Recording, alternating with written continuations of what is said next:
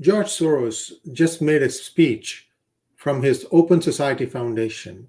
And amazingly, amazingly, whatever he has said is echoing what my friend Elmer Yuen has been saying on PGurus channel for the several weeks now.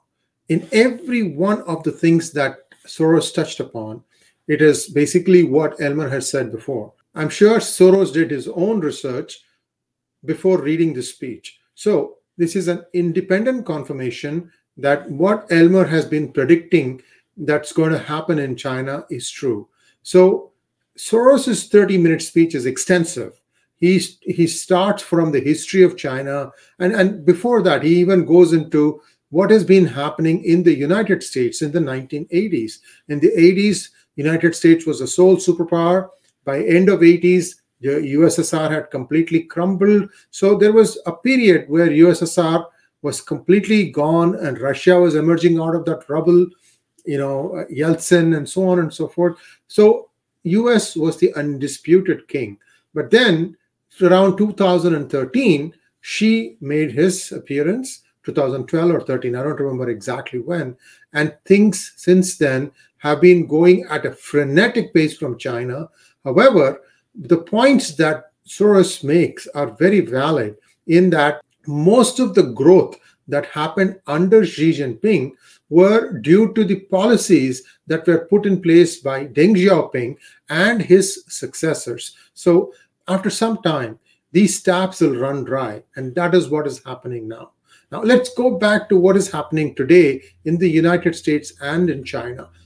For sure, now everybody agrees there are two superpowers US and China. One is a democracy, the other one is a closed society, the other one is an open society, perhaps too open, one might say.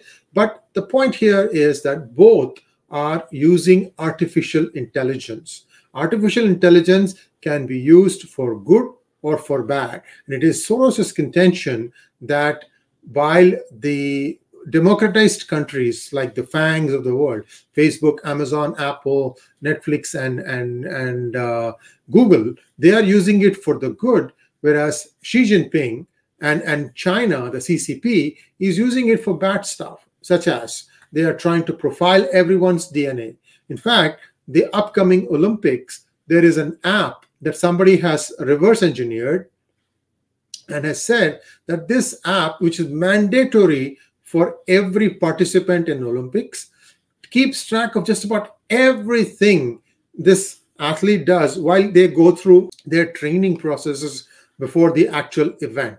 Now, one can make the argument that with all this data, China could produce gold medal winning athletes. So easy, right? So these are some of the extensions of imagination where people are saying that, oh, if I have all these data, then I can recreate the genetic sequence of this particular athlete so that I will be able to have people winning the gold medal all the time. The the the the frightening thing here is China appears to be making changes that are directly impacting human DNA and and that can cause some very, very startling uh, consequences. So we have to see, wait and see how that uh, happens, whether how this is going to play out. Soros is not sure that Xi Jinping, who wants to be like Mao and Deng Xiaoping, that he wants to be on that level, whether he's going to succeed come October, because that's when his two-term finish out, finishes. By the way, this two-term thing was put in place by Deng Xiaoping, and after him, Zhao Jiaming and then Wen Bao, uh, they, they, they, they, have uh, they have uh, been only two two terms each, and it was expected that Xi Jinping would also be two terms. I think it was Hu Jintao, not Wen Bao. Anyway, so you you get the idea. Now under Mao, they had the Great Leap Forward and then the Cultural Revolution. In Great Leap Forward, millions died. And in the Cultural Revolution, the cultural and economic elite died.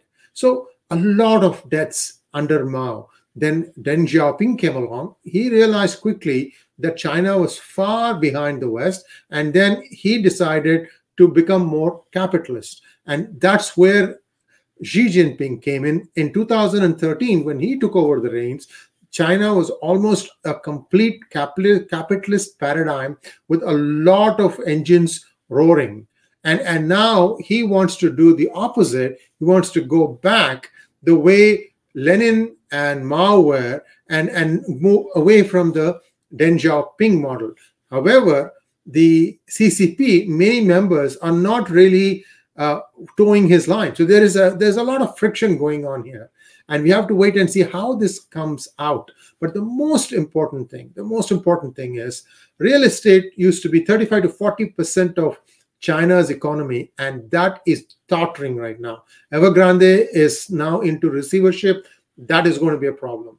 More importantly, China's vaccine appears to be only working on the original Wuhan variants.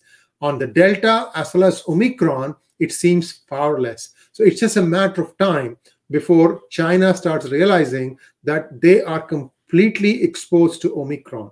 By the way, many experts calculate that China's population today is not 1.4 billion, but it is more closer to 1.27 billion.